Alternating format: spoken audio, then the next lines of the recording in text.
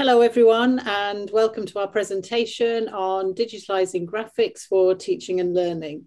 My name is Tamsin Cavaliero and I'm presenting here with my colleague who is the hero of instructional design as far as I'm concerned, um, Jennifer Gilligan. So if we just go on to the next slide, please. Um, we're going to be talking to you about a graphic facilitation um, digital badge module that we've developed. So just to give you an overview of what graphic facilitation is, it uses a variety of visual approaches to capture big ideas, map processes, engage audiences, and present information clearly. It allows you to visualize problems and come up with solutions. Um, approaches vary, but all combine words and pictures, and graphic facilitation helps to engage students and encourage retention by building confidence encouraging and widening participation, fostering a sense of belonging, creating a space for reflection on the student journey and the learning process, improving concentration and listening skills, making note taking more enjoyable, and providing flexible pathways into education for non traditional learners. Graphic facilitation methods are also used by Agile and Scrum coaches, change initiators, software engineers, healthcare planners, and community organizations. Um, next slide, please, Jennifer.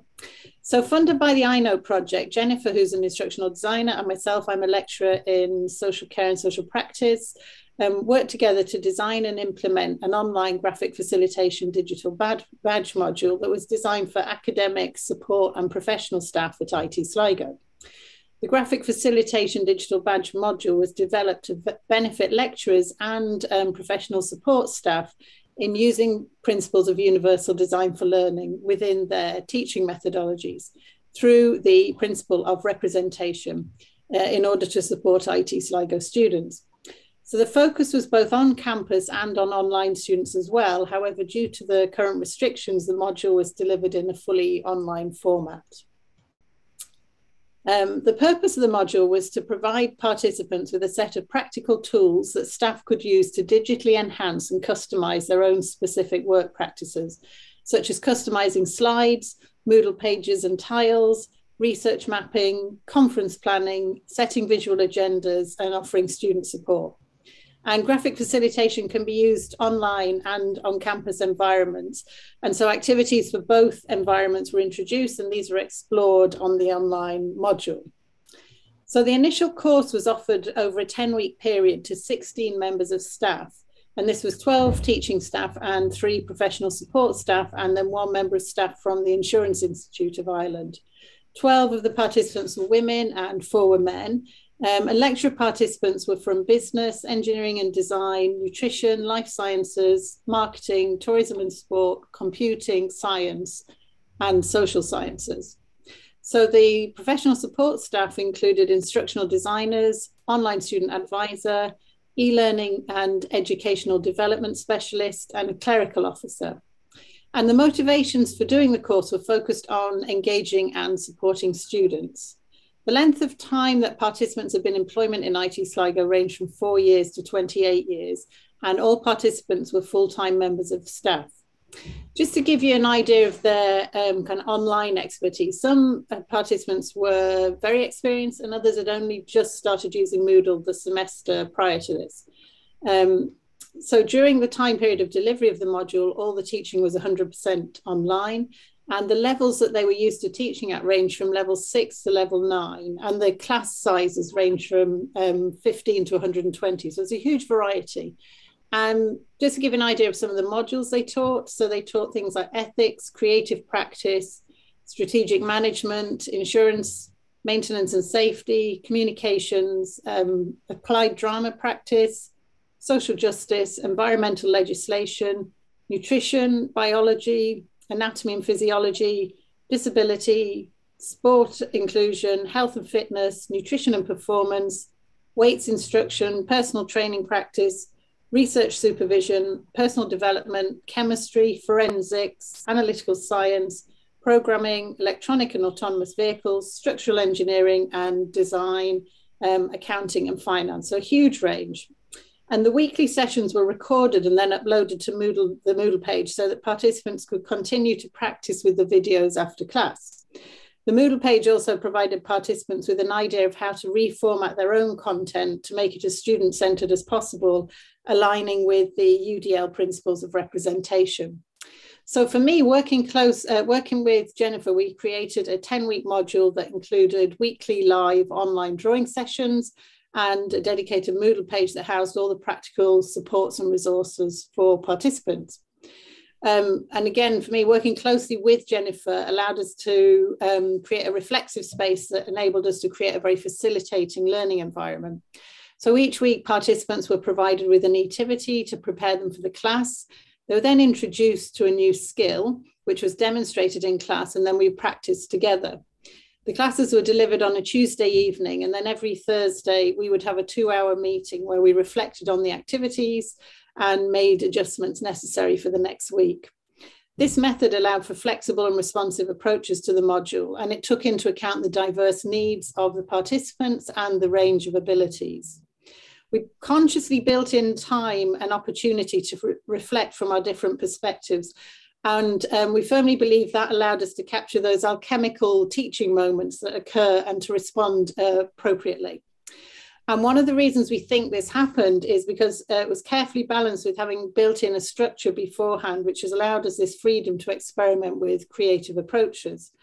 Um, we believe that a lot of this came from the fact that we made time to forge the lecturer instructional designer relationship. And this allowed us to combine structured pedagogical approaches and to learn from each other and draw on our strengths. Making remote participants feel included and engaged would be challenging without preparation and a sound framework. So we had to consider how we could design a module that would run equally as successful if we were to return to the classroom as it would if we remained teaching it online. The decision was made to design the entire course around activities combined with a related and intertwined live class. Etivities design, devised by Gilly Salmon focuses on the students and they are based on the idea that knowledge is constructed by learners through and with others.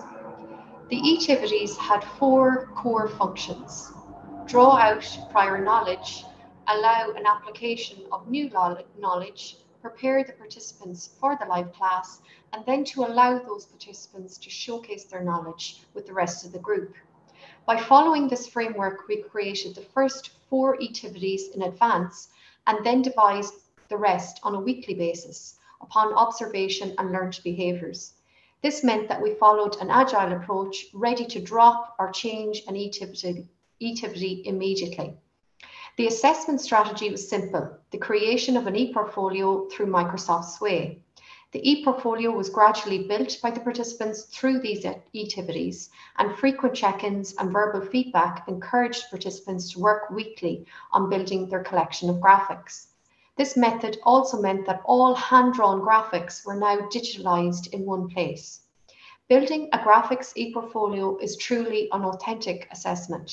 The participants acted as graphic professionals building their, their collections for further use while developing meaningful and applicable uh, digital skills.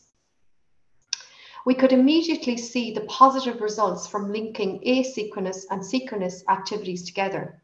The linkage between the two was important as there was a distinct advantage to carrying out the activity. A method of think, draw, share and discuss was used in the live class.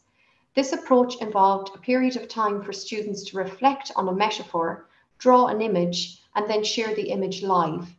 A discussion of the images would take place and new ideas were explored and a sense of variety around the interpretation was observed. An example of a follow-up activity was to record a demonstration on how to draw a particular graphic that was already practiced in that live class. This method combined the use of technology with drawing skills.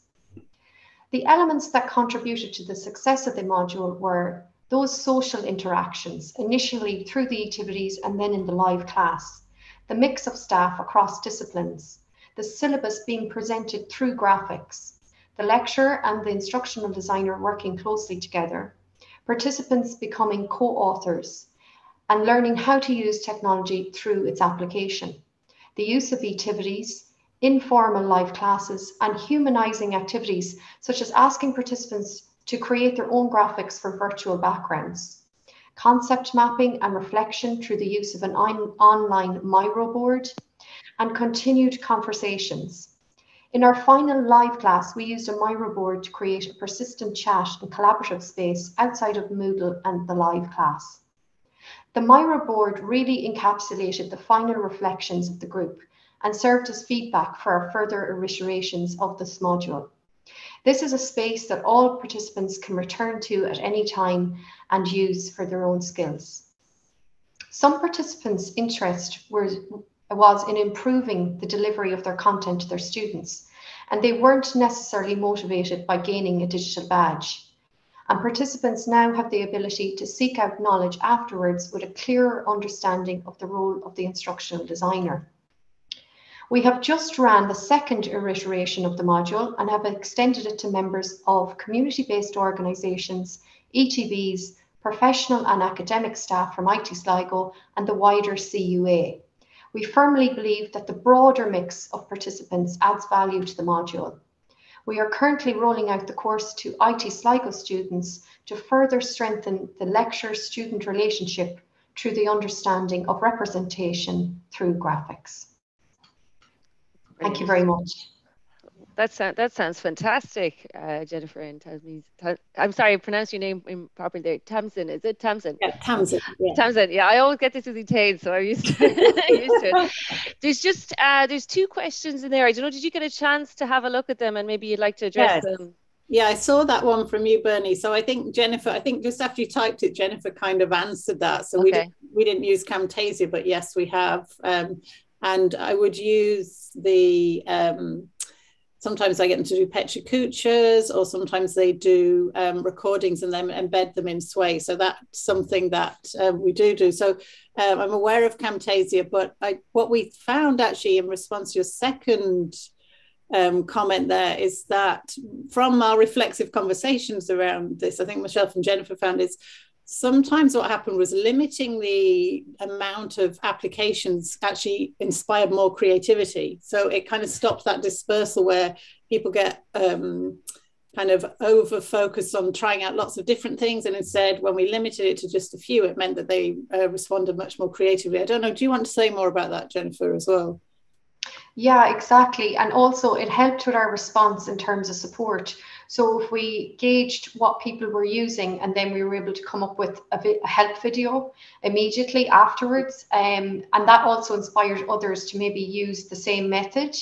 Um, we gave complete freedom to recording and digitalization of their work, even though we did give them help videos on how to do it. And we encourage them to use simple things like their own mobile phone and visualizers that are available in the college and also available to all staff to use for their teaching already. Brilliant. That sounds really good. I see Bernie has his hand up there. So yeah, we might take one question and then move on and, and leave space at the very end if people want to hang on. Brilliant, Bernie. Yeah, just real quick. Um, the um, I'm, I'm, I'm all with you with regard to sway, and I'm with you with regard to keep them using just a simple thing. Just to say, it's a big discovery I've made if the students use their phone to take pictures and they're told to, what to take the pictures of, something they sketch or an object that they're looking at or a short video, and the system behind the scenes has them upload that picture to a shared space, which is possible. They don't do anything except take a picture. The phone does everything else. That little app, that little app called um, Magisto that's linked, that hyperlink in Flickr, is a sample of students' work. I mean, I just before they got back on the bus leaving Microsoft, the video clip was made. We did nothing except take the pictures. Mm-hmm.